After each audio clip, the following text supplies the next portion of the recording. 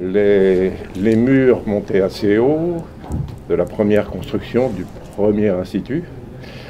Et ça montait, ça montait, et tout à coup, Louison a eu presque, un, mouvement de panique. Il s'est dit, c'est bien, les journalistes de sport viennent me voir, bon, on parle moins, mais, mais là tout à coup j'ai peur, qui est-ce qui va savoir que je fais quelque chose dans ce lieu retiré de Quiberon, c'est compliqué.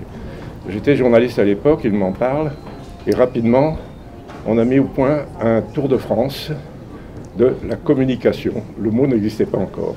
Vous savez que Louison était pilote, il avait son propre avion, et alors on avait organisé un tour de France qui commençait par le journal Sud-Ouest, puis le journal, enfin le Midi Libre, le Progrès de Lyon et tout.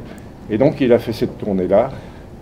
Et à sa grande surprise, parce que tout de même il n'était plus cycliste depuis 3 ans ou 4 ans, il était très surpris par l'accueil qu'il a reçu dans les journaux. Il n'a pas été reçu par les rédactions sportives seulement de ces journaux-là, mais par les rédactions en chef. Et ça a été un fabuleux euh, euh, livre on, ne disait pas encore Pressbook, mais ça a été le premier Pressbook de la thalassothérapie de Quiberon. Et ça a été un vrai Tour de France, puisqu'il l'a terminé à la Voie du Nord, là-haut à Lille. Voilà le Tour de France assez peu connu de Louison.